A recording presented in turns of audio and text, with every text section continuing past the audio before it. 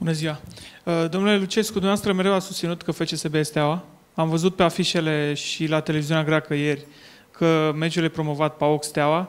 Uh, UEFA consideră FCSB continuatoarea stelei, am văzut într-un documentar Europa League. Uh, credeți că asta e normalitatea? Din punctul dumneavoastră de vedere și având experiența atâtor ani în antrenorat și cunoscând atât de bine fotbalul românesc? Mulțumesc. Pentru mine, pentru mine este steaua.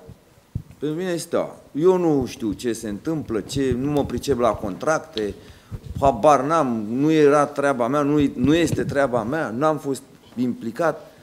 Eu văd doar uh, o continuitate a acelei echipe Steaua, care aparținea în ultima perioadă tot lui Gigi Becali. Cum s-a ajuns acolo, nu știu și nu mă interesează. Deci pentru mine este Steaua. Dacă am spus acum FCSB, am spus ca să nu creezi confuzie aici, că nu știu exact cum a apărut în uh, media, dacă e FCSB sau Steaua. Dar este Steaua.